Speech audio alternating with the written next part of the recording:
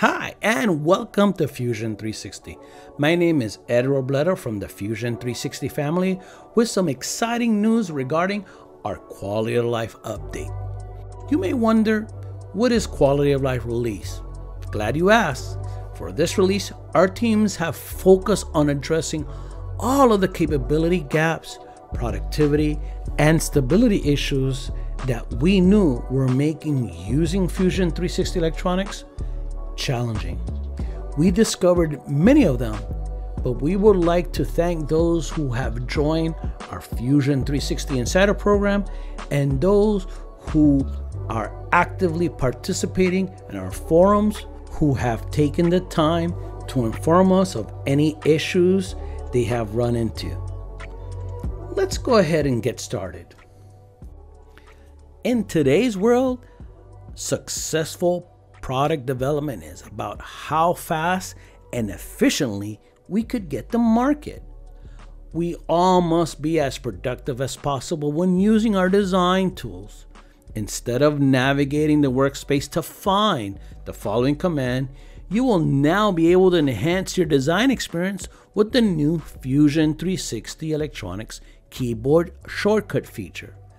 A feature that allows you to assign keystroke shortcuts to a single command or a complete command line sequence, a helpful script, or execute a user language program. An excellent example of this new feature is assigning shortcuts to easily access your schematic bill of material or possible a different view of your design statistics.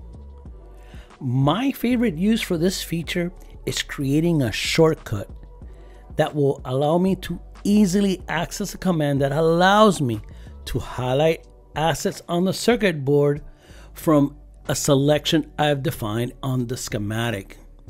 I also noticed that participants in the Insider program told me that they were using it to switch grids while routing and placing parts. Defining keyboard shortcuts is going to make your design time be more productive. I'm going to continue showing you some more of our productivity enhancements for this update. Defining a connection on a schematic would usually take a few steps since one command was to draw the net and the other one was to name it. Well, with this update, you'll be able to use the same command and access the necessary options.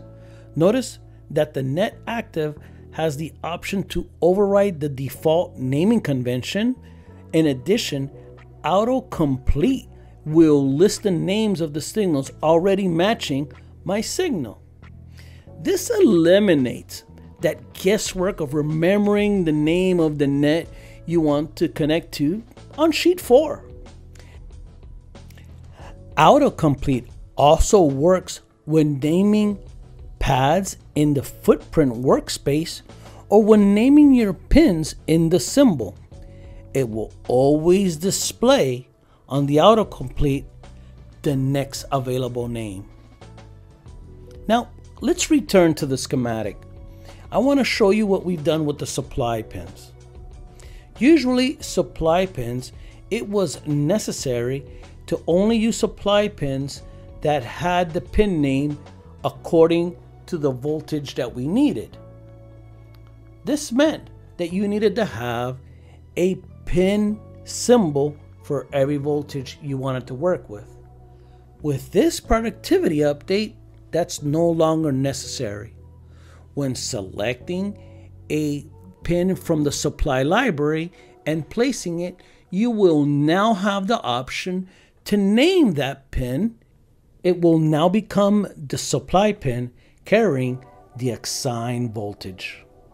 When I run a net from that pin, Notice that it adopted the name of the supply pin as it's supposed to.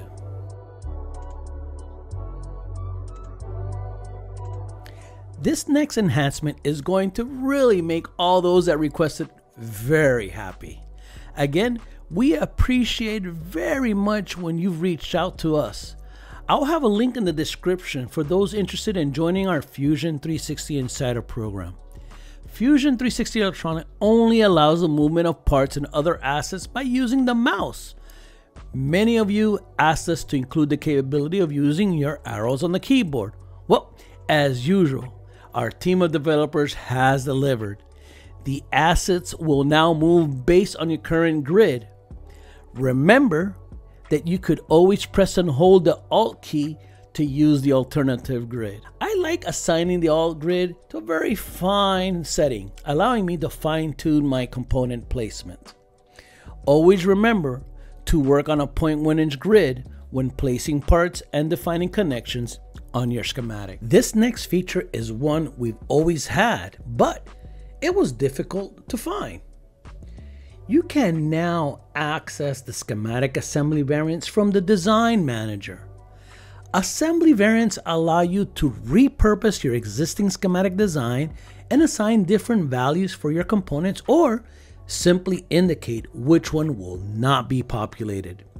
This reduces the variety of physical parts to fabricate and inventory, such as bare printed circuit boards. A common use for design variants is for consumer products that need to be regionalized. A product line can utilize shared parts instead of multiple copies.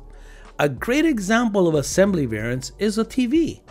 It needs to have different power and video standards to suit the varying target markets or destinations.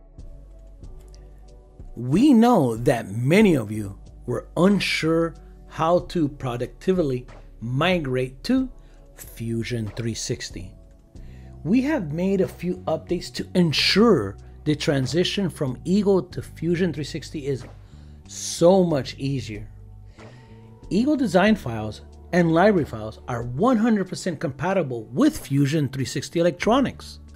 The first time you launch Fusion 360, it will automatically detect if you have any local libraries and give you the option to upload them. We mentioned this in an early update, but this time it was only working for Windows users. Now, our Mac users will also be able to experience this.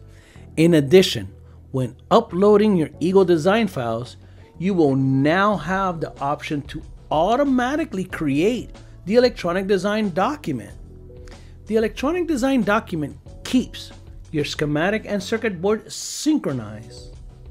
By opening up the electronic document, the schematic and the associated board will automatically load.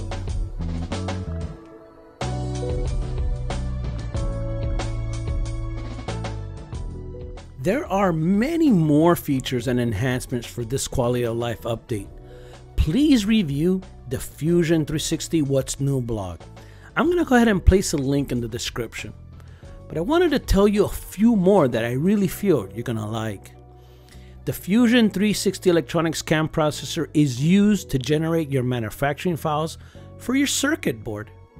Many of us have expressed they wanted the CAM processor to automatically load the CAM job of your preference based on your specific design. Well, in this update, you're going to notice the Set as Active CAM job option on the top toolbar. You will no longer have to navigate your drive to find that CAM job of your preference. In addition, the one click manufacturing option will also use the cam job you've set as active. Now, you will be able to save time and have your manufacturing files in moments using the exact settings of your preference.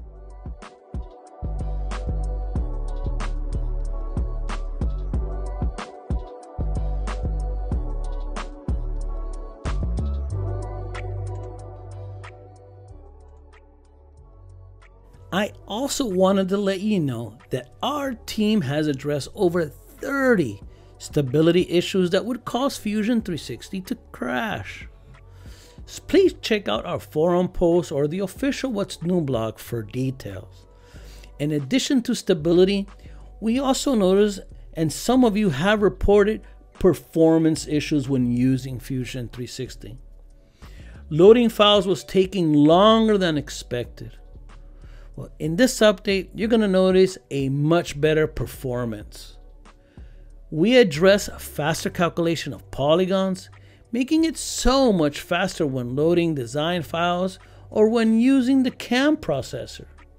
In addition, we made the appropriate changes to make sure that the move, undo, and add command are more responsive.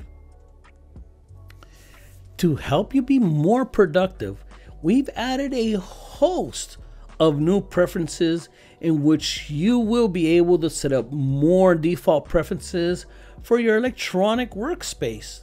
Now, you could assign your default trace width, via size, drill size, pads, polygon properties, and, and much more. Instead of setting this up for every new project, these settings will automatically be applied. No need of wasting time setting this up every time. There will be a lot more choices and preset options the next time you generate your 3D model of your circuit board. These presets are based on the amount of details you want on your 3D model. For a quick glance of your 3D model of your circuit board, use the faster settings. These will work like canvas, while the other options will provide you more detail but will take longer to load. Options like this make it easier to quickly review a different perspective of your design. In the list of components, you can now select which component should or should not be loading a 3D model. For my example, I'm deselecting a 3D model for the test points as well as for the speaker cables. This really optimizes your design workflow. The quality of life update addresses performance, stability, and productivity enhancements. All the key ingredients needed to enhance and optimize your design experience with Fusion 360 electronics. For this presentation, I was not able to demonstrate all of the new enhancements, so make sure to visit the Fusion 360 Electronics forum and review the What's New blog. Thank you for joining all this and more with Fusion 360.